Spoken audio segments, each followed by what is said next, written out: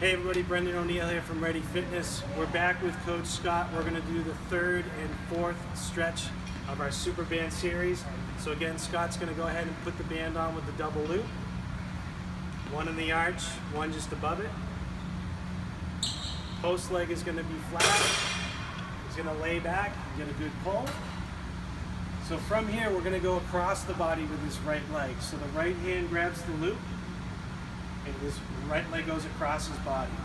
Once he gets the stretch he wants, we're going to do some lateral pivot at the ankle. So the pivot goes towards the floor, towards the ceiling. So the hamstring stretch, we were doing toe pumps this way. Now we're going laterally with the ankle. So 10 to 15 of those.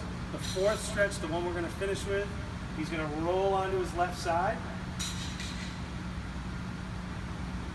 Comes up and over the shoulder. Now we're getting a sideline quad and hip flexor stretch. Okay? Notice the post leg is rotated with his hips. So his toes are forward rather than pointing straight up at the ceiling, they're going forward. Okay? About 30 seconds there. Then he would roll to his back to get one more hamstring stretch. Okay? Hang on to that for about 30 seconds and to finish, you just drive that leg down and sit up. Good. So that's four stretches. You can use a one inch super band. To get a super band, you can go to performbetter.com. That's the vendor that I like to use. In the search field, you just type in super bands, and we're using a one inch band today. All right, like to thanks Coach Scott. And for more fitness tips, you can go to staystronggetready.com. All right, thanks a lot.